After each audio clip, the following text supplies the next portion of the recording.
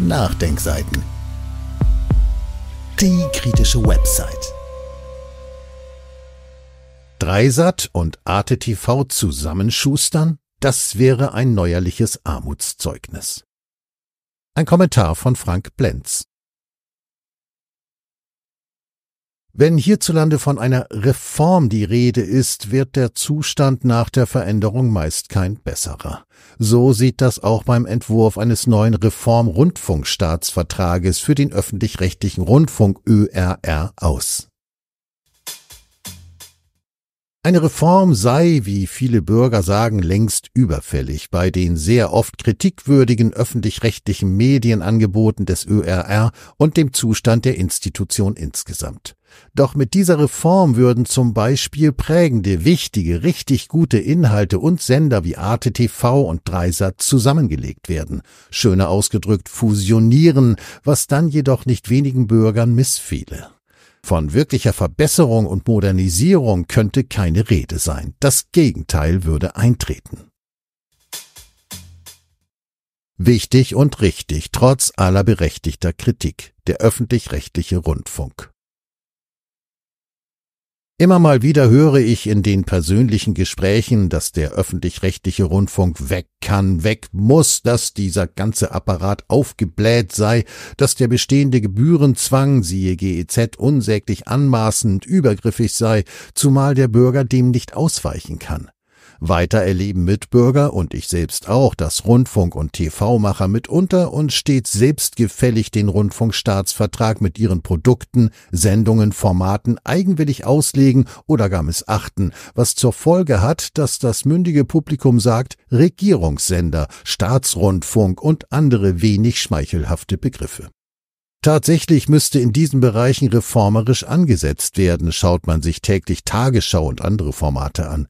Viele Beiträge im öffentlich-rechtlichen Rundfunk unter anderem zu den Themen Krieg, Corona oder neoliberale Wirtschaftsordnung müssen als harte und unseriöse Meinungsmache bezeichnet werden. Das ist inakzeptabel und muss geändert werden. Aber die nun angefachte Reform geht ja in eine ganz andere Richtung. In einer Betrachtung einer überaus konservativen Vereinigung, dem Kronberger Kreis, dessen Devise mehr Mut zum Markt propagiert, kommt zur Sprache, wie die Kritik am öffentlich-rechtlichen Rundfunk und das daraus resultierende Bröckeln der Beliebtheit und Akzeptanz bei den Bürgern in den dortigen Chefetagen aufgenommen wurde. Zitat Selten hat Kritik am öffentlich-rechtlichen Rundfunk den Reformdruck so sehr erhöht, wie es derzeit der Fall ist. Dies zeigt sich daran, dass die Intendantinnen und Intendanten der ARD-Rundfunkanstalten im Juni 2023 erste Grundsatzentscheidungen zum Umbau der ARD bekannt gaben und ein von der Rundfunkkommission der Länder eingesetzter Zukunftsrat im Januar 2024 einen Bericht vorlegte, der sowohl Reformen im System als auch Reformen des Systems Systems anmahnte. Auf der Grundlage dieses Berichts einigte sich die Rundfunkkommission der Länder auf strukturelle und organisatorische Eingriffe mit dem Ziel, eine langfristige Perspektive für den öffentlich-rechtlichen Rundfunk zu entwickeln und seine gesellschaftliche Akzeptanz zu erhöhen. Öffentlich wird bereits seit langer Zeit über den Auftrag des öffentlich-rechtlichen Rundfunks diskutiert. Zitat Ende. Vorschläge sind gut, ein Zukunftsrat auch. Und wie gesagt, die inhaltliche Kritik an zahlreichen Beiträgen des öffentlich-rechtlichen Rundfunks ist absolut berechtigt. Doch darf bei dem ganzen Ärger über unseren öffentlich-rechtlichen Rundfunk allerseits bei Publikum und Bachern nicht vergessen werden, dass diese unser aller Institutionen sind, die über viele Jahre gewachsen, vielfältig und zahlreich aufgestellt sind und, so meine Meinung, unsere Gesellschaft doch auch bereichern, begleiten, widerspiegeln. Und das gilt es zu erhalten, auszubauen, fit für das Heute und für die Zukunft zu machen. Eine nur von Privatmedien bespielte Medienlandschaft wäre keine bessere. So wie Dreisat und Arte TV. Man nehme nur mal die Geheimtipps des öffentlich-rechtlichen Fernsehens. Der Dreiländersender Dreisat sowie der deutsch-französische Sender Arte TV. Viele Formate dieser beiden Anstalten sind wirklich niveauvoll, intelligent, haben ein Alleinstellungsmerkmal, wirken verbindend. Bei Arte TV wie bei Dreisat sind Nachrichtenjournale führend. Moderatoren wie Armin Wolf von der österreichischen ZIB Zeit im Bild lassen deutsche TV-Kollegen blass aussehen. Karambolage bei Arte TV, Kulturzeit bei Dreisat, die zahlreichen Reportagen und so weiter über uns und über unsere Nachbarn verteilen sich über zwei Sender, opulent und ausufernd, und das ist gut so. Nach einer Reform ginge es diesen Sendern an den Kragen, wenn Einspar-Verschlankungspläne im Entwurf des Reform-Rundfunkstaatsvertrages mittels einer Zusammenlegung dieser Sendehäuser greifen würde. Inhaltlich, sendezeitlich, finanziell, personell, das Interesse und die Menge des Publikums betreffend. Man muss schon fragen dürfen, wie würde man diesen neuen festen Knoten lösen, zum Beispiel die Nachrichtensendungen und verschiedenen Journale beider Sender in eine gedeihliche Koexistenz in nur einem Sender zu vereinen, wenn dann nicht doch diese und oder jene Sendung eingestellt werden würde. Alles wird besser, nichts wird gut, oder? Eine Petition bringt es auf den Punkt. Kulturschaffende wie Katja Riha warten nicht, sie wollen Dreisat mit einer Online-Petition retten. Aktivisten wie Sie aus dem Bereich Kultur unterstützen eine INNN.IT-Petition, die sich für den Erhalt von Dreisat engagiert. So heißt es. Es brauche Dreisat als Plattform für kritische Debatten, als Bühne für kreative Vielfalt und als Stimme der europäischen Kultur, schreibt die Initiatorin Katja Riha auf der Petitionsplattform innn.it. Riha hat ein ureigenes Interesse an dem Fortbestand des Senders, denn sie ist nicht nur langjährige freie Mitarbeiterin der Dreisat-Sendung Kulturzeit, sondern hat in der Vergangenheit mit ihrer Produktionsfirma Can Do Berlin auch einige Dokus für den Sender produziert, wie sie auf der Unternehmenswebsite schreibt. Unter anderem habe man ein Porträt über Sarah Wagenknecht und über die Geschichte der Überwachung umgesetzt.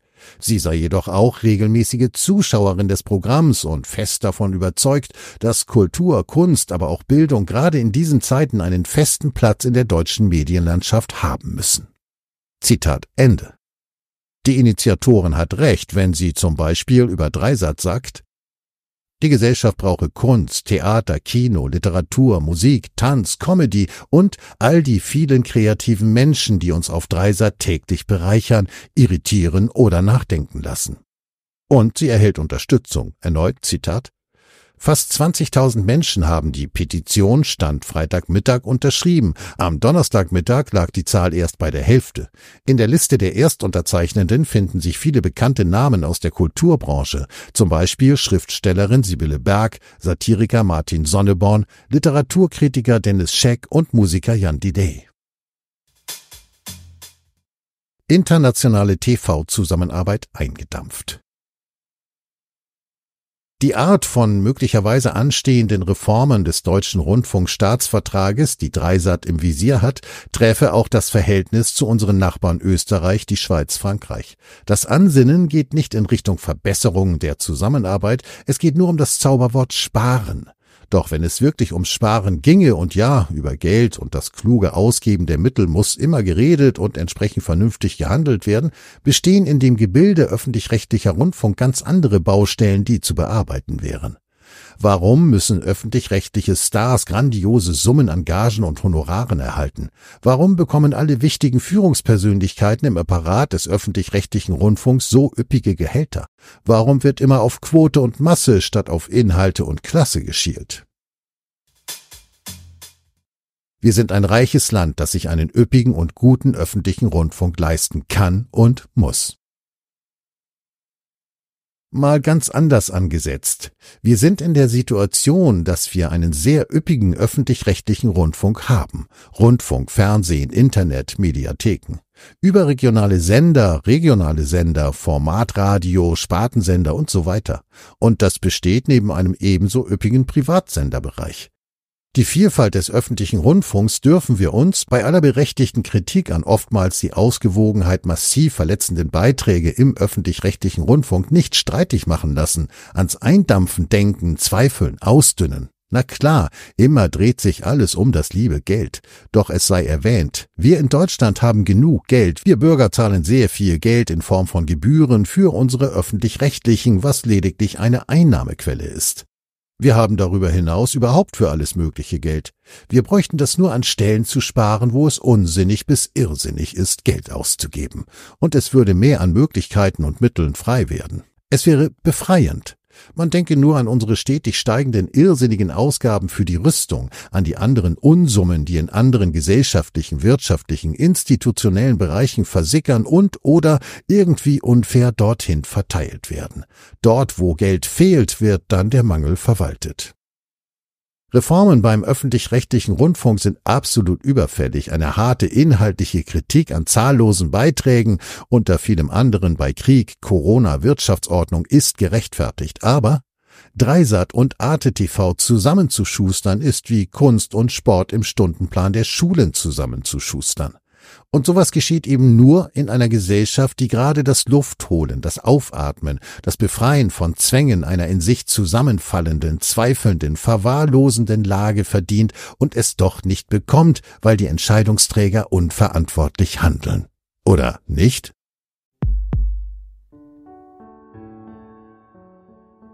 Dieses Audio konnte nur entstehen, weil zahlreiche Leser und Leserinnen die Nachdenkseiten fördern und durch Spenden unterstützen.